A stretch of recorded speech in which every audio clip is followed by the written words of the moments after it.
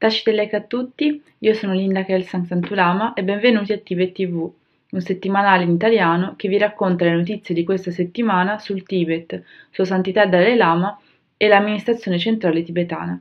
Diamo prima un'occhiata ai titoli principali delle notizie. La Cina arresta 59 tibetani per il possesso della foto di Sua Santità Dalai Lama. L'ex prigioniero politico Don Dorje muore in Tibet. Nel 61 giorno della democrazia, il Sikyong si dice grato ai tibetani all'interno del Tibet.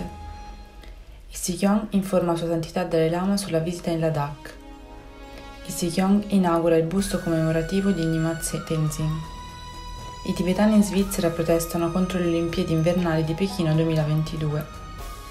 Il rappresentante Ngodo Tsering incontra il vice amministratore dell'Agenzia degli Stati Uniti per lo sviluppo internazionale.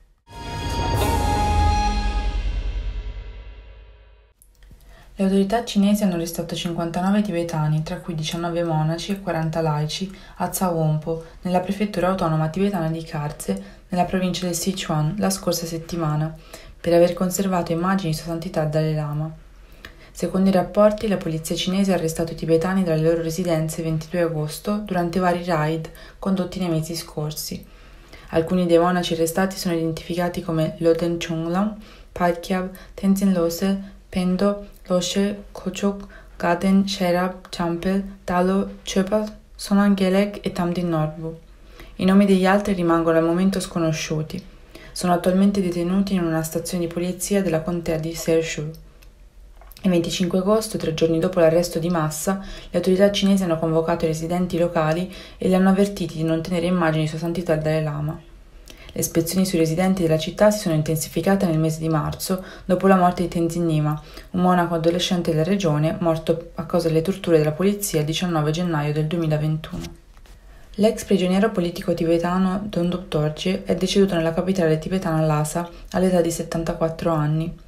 Secondo le fonti, Don Dorje, che ha trascorso anni dietro le sbarre dopo aver combattuto per i diritti umani del popolo tibetano, è deceduto lo scorso 25 agosto.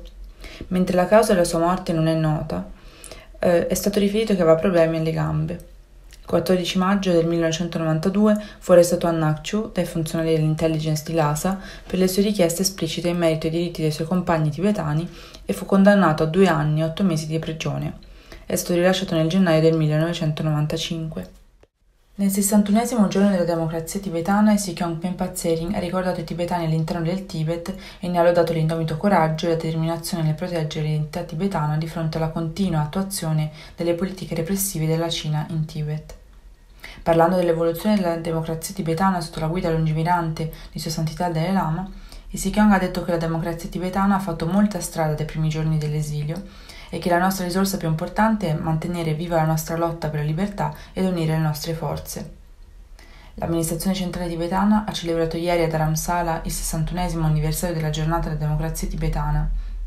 L'evento ufficiale ha visto la performance dell'Istituto tibetano di arti performative, la proiezione del video di Santità Dalai Lama sull'importanza di rafforzare le istituzioni democratiche tibetane, la presentazione di premi e certificati agli studenti tibetani per i loro risultati accademici, il lancio del libro sulla vita di Kyalo Tondub, ex Kalon Chipa e fratello maggiore di Sua Santità Dalai Lama, e infine l'inaugurazione dell'album musicale Yarki dell'Istituto Tibetano di Arti Performative. Mercoledì scorso il Sekyong Penpa Tsering ha informato Sua Santità sulla sua prima visita ufficiale recentemente conclusasi in Ladakh e aggiornato sulle attività che ha intrapreso da quando ha assunto responsabilità di Sikyong. Questa è la quarta udienza del Sikyong Penpazzerin con Sua Santità Dalai Lama dopo aver assunto la carica di Sikyong nel maggio scorso. Il Sikyong Penpazzerin ha concluso con successo la sua visita di otto giorni in Ladakh e ha raggiunto Dharamsala domenica scorsa. Il Sikyong Penpazzerin ha inaugurato il busto commemorativo di Nyingma Tenzin a Dharamsala lunedì scorso. Nyingma Tenzin era un tibetano che ha prestato servizio nell'esercito indiano ed è morto in un'operazione militare sulla riva del lago Pangong, sventando l'incursione della Cina l'anno scorso. Un busto commemorativo simile di Nyingma Tenzin è stato inaugurato a Lehin, in Ladakh, da Sikyong Penpa Tsering nell'ultimo giorno della sua visita alla regione la settimana scorsa. Sabato scorso la comunità tibetana della Svizzera e del Liechtenstein ha organizzato una manifestazione ciclistica per protestare contro le Olimpiadi invernali del 2022 in Cina. In onore e rispetto di tutti i martiri tibetani, oltre 80 ciclisti indossavano magliette con impresse le foto dei tibetani che si sono autoimmolati e si sono radunati dalla stazione principale della città di Zurigo al consolato della Cina.